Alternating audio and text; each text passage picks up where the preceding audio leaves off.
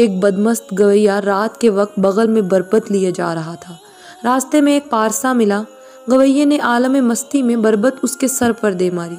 बरबत टूट गई और पारसा के सर से खून बहने लगा, लेकिन वो खामोशी से चला गया। सुबह हुई तो उस संगदिल गवैये के पास कुछ रुपए ले गया और कहा कि, मेरे भाई, गुज्श्ता शब तू मगरूर और मस्त था, इसीलिए तेरी बरबत टूटी और मेरा सर टूटा।